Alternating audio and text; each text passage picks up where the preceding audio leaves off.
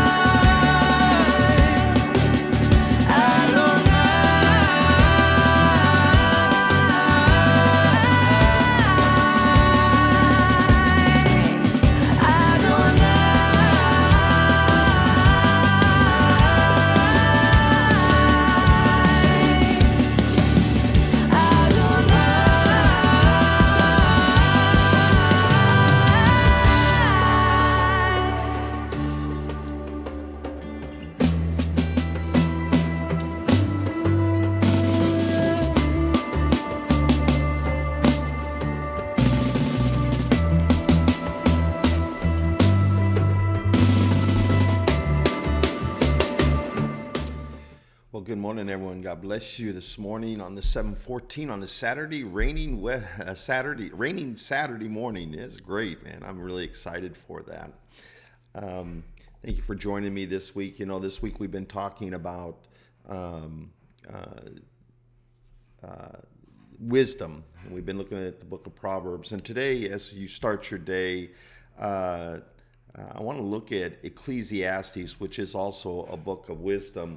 You know, this morning in a couple hours, I'm going to be doing the funeral memorial service uh, for Richard Rodriguez's mother, and um, and so pray for the Rodriguez family as we go to Forest Lawn in West Covina and pray that God would bring comfort to them. And uh, one of the scriptures that I'm going to be using today is found in chapter 7, verse 2, and you see it on the screen. And it says this Better to spend your time at funerals than at parties. After all, everyone dies, so the living should take this to heart. You know, that, that, that was always an intriguing verse to me, and I didn't quite understand it uh, for many years, but then I began to grasp it and and God began to show me the importance of this in the area of wisdom, and that is this that God is saying that it's good for us to go to funerals to pay attention to the brevity or the shortness of life. Life is very short. Even when you live many, many years on this earth, it's still short compared to eternity. And if we're not careful, we can get caught up with the everyday life. Uh, we can deal with uh, uh, just carrying on with life, the busyness of life, doing life, family, business, whatever, and fail to understand that it's all just a fleeting moment, as uh, James tells us. Uh, we're here one day and gone the next. And so, at least at funerals, it takes us a moment to pause and contemplate life eternal. And I think it's very important because we can get so caught up with life that we forget the more important things of life. And the more important things of life is where are we're going to spend eternity. And so when you know Jesus Christ as your Lord and Savior, your eternity is set in heaven, and to be absent from the body is to be in the presence of the Lord. So there are some wonderful things. So although it's hard to grasp why would it be a good thing for us to go to funerals, it's really there to bring us back to a reality that life is short and there is a life after death. And so how important it is for understand for us to understand that that uh, God loved us so much that He sent His Son into the world, and those that would place their faith in Him would have eternal life. And so I hope and pray that encourages you today. Take time out on a regular basis and contemplate eternity. The busyness of life is not going to sustain us when we draw our last breath. It's our hope and, and, and our trust in our Savior, Jesus Christ. Amen. Amen. Let me pray for you. Dear Heavenly Father, Lord, I thank you and I praise you for this wonderful, wonderful rainy morning. And Lord God, we thank you because our hope is in you. And Lord, and Father, although none of us enjoy going to funerals, Lord, there is some great uh, uh, truths in this that it gives us time to pause and think about uh, life uh, eternal. And God, help us to evaluate our life because life eternal is set on this side of life. And so, Lord God, may we truly make the right decisions of putting you first in our lives as we accept Jesus Christ as our Lord and Savior. Lord God, I pray those that are watching, if they've never come to that place of understanding your love, I pray that they would understand that you love the world so much that you sent your Son Jesus. And those that would place their faith in him would have eternal life.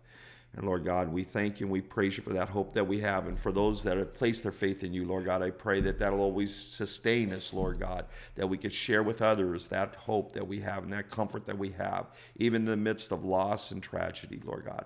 And Father, we're so careful to praise you. And Lord God, today, especially too, we as the people of God lift up uh, Bill uh, uh, uh before you, Lord God. Father, he had a uh, last uh, couple days a really rough life and uh, in his health. And so, Father, we pray that you would touch Bill in his life and touch him in his physical body. And God, we pray for Vivian that you give her strength in her body, Lord God. Give her strength in her mind and in her soul as she continues to walk beside her husband in these days.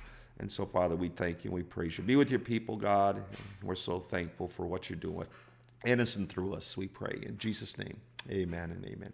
Amen. God bless you today. Go with God. Have a great day. Be safe out there. Uh, the roads are wet. Also, make sure you do what you need to do to keep yourself healthy.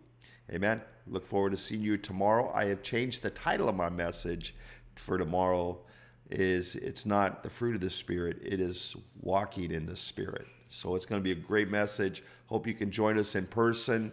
Uh, remember, tomorrow we're going to be giving out our uh, Thrive 2021 bracelets. We want to make sure that we get those out to you. And if you're not, and you're going to be watching by your devices, please just call the office, stop by and pick up one, and uh, let's do this together. Amen.